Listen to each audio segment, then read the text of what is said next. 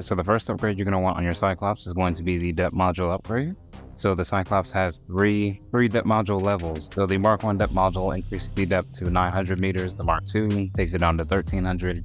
And the Mark 3 will let you go to 1700, which is about as much as you'll need. So the first upgrade you're going to want is going to be your depth module, just like all the other vehicles. Now the next upgrade you're going to want is going to be the Cyclops engine efficiency module, which is going to, it's, it's pretty, pretty, pretty simple, straightforward upgrade. It um, reduces the rate that your Cyclops drains energy whenever you're using the engine and whatnot, but it doesn't apply to like things you put on the wall or stuff like that. So let's say you put uh, maybe like a battery charger on the wall. So yeah, good upgrade to have, saves you energy and power cells, resources in the long run. All right, now the next upgrade you're gonna want for your Cyclops is going to be the shield generator. So basically whenever you're using your Cyclops, it'll allow you to turn on the shield generator and while it's on, it'll generate a shield around your Cyclops and it'll make you unable to take any damage from any creatures and any direction. So this is really good when you're going into like hostile areas or areas where there's a lot of hostile creatures like Reapers, Ampeels, etc. But it does drain energy like super fast. So what I would do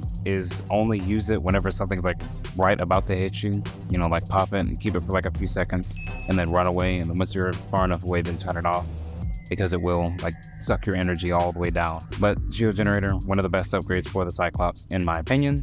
So it made this list and you should most certainly have it on yours. And the next upgrade we're to want is the Cyclops Fire Suppression System. Again, does exactly what it says it does. So whenever you're using your Cyclops and you're at flank speed, which is the max speed, and your Cyclops catches on fire, all right, now that our Cyclops is on fire, and because we have the Fire Suppression System, all we have to do is hit the button. So now all the doors are going to shut and it's going to automatically put out the fire. And while the fire is getting put out, you can still, you can still drive your Cyclops around so basically saves you time whenever your Cyclops overheats because you won't have to like run back there, put out the fire and do all that. Especially if you're like in a pinch and your engine overheat, you're not going to want to like stop moving your Cyclops because you can still get attacked. Fire suppression, also extremely good upgrade, just as useful as the shield generator is. It's another upgrade that you're most certainly going to want on your Cyclops. Why am I sliding? All right, so the next upgrade you're going to want on your Cyclops is going to be the decoy tube upgrade.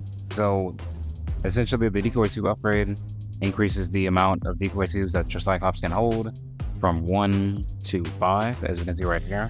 Now this is extremely useful because the Cyclops can again only hold one decoy tube by default, which means that if you're getting chased by something or multiple things and you're in a really hostile or bad area, you shoot out a decoy, like right here, like press the button, shoot it out. Then if you only if you don't have the upgrade, then you have to run all the way back here, you gotta refill it, and then you got to run back and then keep moving again. But with the upgrade, you can just put five in here, so you don't have to keep running back and forth especially in like a hostile area or something like that. Decoy tube upgrade, extremely useful. Now the last upgrade that you're going to want for your Cyclops is going to be between the sonar, the thermal reactor, and the docking. But if I had to pick one, I would probably pick the sonar because I can I can use the sonar in basically every, it's useful in more areas than these two are useful in. But the sonar upgrade is going to allow you to see a lot better when you're in your Cyclops and you're piloting it around. So when you have your sonar equipped, you can just simply turn it on and it'll illuminate the area around you in like these red, red and black grids. Now this is especially useful if you're in an area where the water is hard to see through or if you're exploring at nighttime or you're like in like a cave or something and you need to see where you're going. This is when the sonar would be extremely useful because it makes everything a thousand times easier to see. You can also leave it on while you're just driving around. So you know where you're going. You don't accidentally like bump into anything. You won't run into anything. And there won't be any surprises while you have your sonar on. So yeah, sonar, really good. Lets you see everything before it gets near you. And yeah, that's all I have for y'all. Thank you all for watching. I will see y'all in the next one. Peace.